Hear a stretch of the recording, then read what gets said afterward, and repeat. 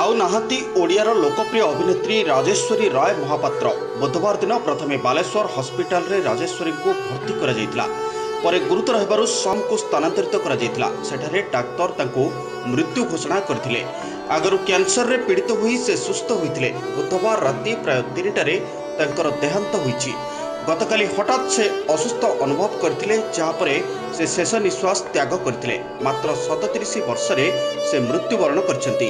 ଗତକାଲି ପ୍ରଥମେ ବାଲେଶ୍ୱର ହସ୍ପିଟାଲରେ ତାଙ୍କୁ ଭର୍ତ୍ତି କରାଯାଇଥିଲା ପରେ ଗୁରୁତର ହେବାରୁ ତାଙ୍କୁ ସମ୍ ହସ୍ପିଟାଲକୁ ସ୍ଥାନାନ୍ତରିତ କରାଯାଇଥିଲା ତେବେ ସେଠାରେ ଡାକ୍ତର ତାଙ୍କୁ ମୃତ୍ୟୁ ଘୋଷଣା କରିଥିଲେ ଏତେ କମ୍ ବୟସରେ ସେ ଦୁନିଆକୁ ଅଲବିଦା କହି ଚାଲିଯାଇଛନ୍ତି ତାଙ୍କ ମୃତ୍ୟୁ ବର୍ତ୍ତମାନ ଟିଭି ଓ ସିନେ ଜଗତରେ ଶୋକର ଛାୟା ଖେଳିଯାଇଛି ସେପଟେ ତାଙ୍କର ଫ୍ୟାନ୍ସ ତାଙ୍କ ମୃତ୍ୟୁରେ ଚକିତ ହୋଇଯାଇଛନ୍ତି ଆଉ ସୋସିଆଲ ମିଡ଼ିଆରେ ତାଙ୍କୁ ଶ୍ରଦ୍ଧାଞ୍ଜଳି ଦେବା ଆରମ୍ଭ କରିଦେଇଛନ୍ତି ପ୍ରକାଶ ଥାଉ କି ଅନେକ ଓଡ଼ିଆ ସିରିଏଲ ଓ ଫିଲ୍ମରେ ସେ ଦମଦାର ଅଭିନୟ କରିଥିଲେ।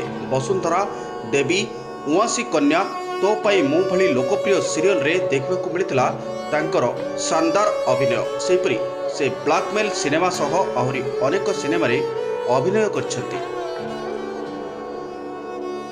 ହିରୋ ଇନପୁଟ୍ ସହ ସୁଶାନ୍ତ ପଟ୍ଟନାୟକ ସକାଳ ଖବର।